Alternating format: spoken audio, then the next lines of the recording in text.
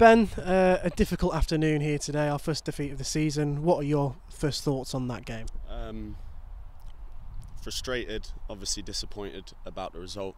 Um, I think there's lots of positives from the performance in terms of things that we could have done, uh, that we did do well, sorry. Um, but as much as we have those positives, we know what we're capable of and we know the things that we need to look back at and work on and the things that myself included could have done differently today to affect the game more. Um, and yeah we just need to need to learn from it. They were very streetwise.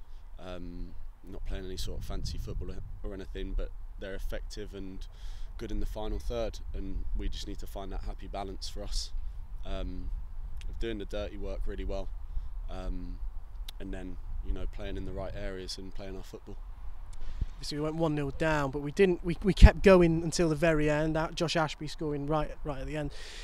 For you, in between the sticks, it was a busy after, uh, a busy afternoon for you.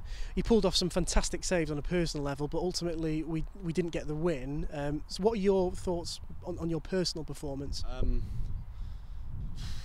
mixed emotions. Um, I felt like the first goal, I was slightly out of position had I been in the correct position, even from where I was, I could have maybe affected the cross. Um, so I was disappointed in that. Um, but you know, tried to move on from it quickly. Um, similar to the team, I had, I did lots of good things, uh, but that that mixed bag isn't enough for me. Um, and I owe to the team to do more than that. And you know, I'll, I'll watch the game back and enjoy watching their three goals um, and just look at how I can improve. And uh, I don't want that to be my typical performance today. I want to I want it to be better than that. The manager's just uh, spoken to us and said there's a lot of lessons to be learnt from today's game. You've just alluded to the same there, and we go again on Saturday against Havant.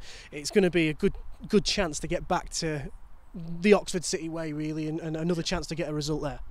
Yeah, definitely. Um, I think that's one thing you could say about us so far. We've been very resilient. Um, we've gone behind in games too many times, but managed to come back, which that in itself is a good sign. Um, and we've got lots of positives uh, still to take. It's a long season, so you're going to have these little lows, and you know, in sport and football, how you respond is going to be what defines you.